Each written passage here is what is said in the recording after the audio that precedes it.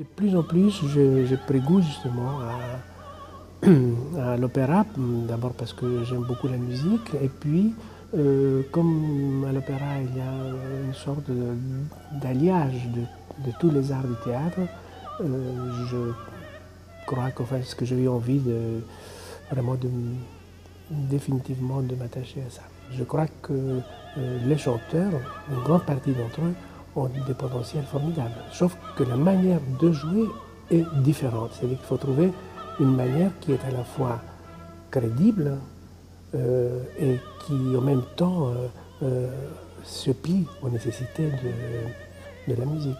En fait, l'amour des chanteurs, je dirais, qui, qui pour moi est une des choses les plus importantes dans le cours de mon travail. Bon, quand on travaille à l'opéra, immanquablement, euh, on a affaire aux ouvrages euh, qui sont inspirés de la tragédie.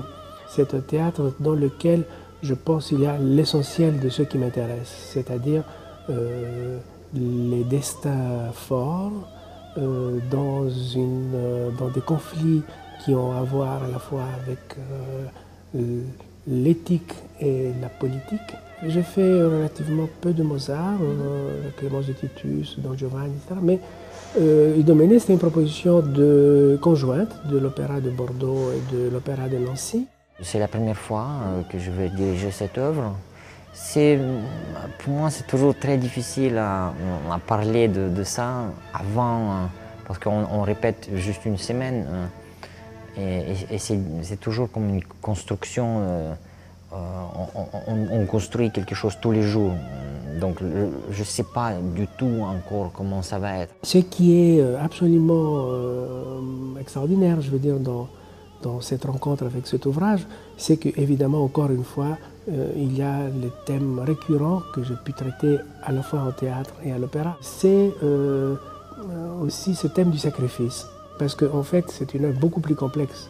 Cette histoire du sacrifice est beaucoup plus complexe que ce qu'il n'y paraît contrairement à ce qu'on peut euh, ressentir à une, première approche, euh, c'est cette dimension extrêmement euh, puissante qui met en scène des personnages qui ont des tourments, des doutes qui sont très proches, comme toujours d'ailleurs chez Mozart, avec les doutes éternels. Et le dépit, le dépit amoureux évidemment, c'est euh, se, dénoue euh, dans une scène extraordinaire de violence et de folie, qui est une des plus étonnantes que Mozart a écrit, malgré son jeune âge à l'époque. Et, euh, pour cela, pour des questions et personnelles et sentimentales, la ville de Nancy et puis l'opéra de Nancy me sont très chers. Et puis, j'aimerais vraiment continuer à travailler ici. Ce n'est pas la première fois que je viens ici, donc je connais tout le monde. Et ça aide énormément, surtout quand on est chef, jeune chef, parce qu'il faut passer beaucoup de temps à, créer les relations avec, avec les gens.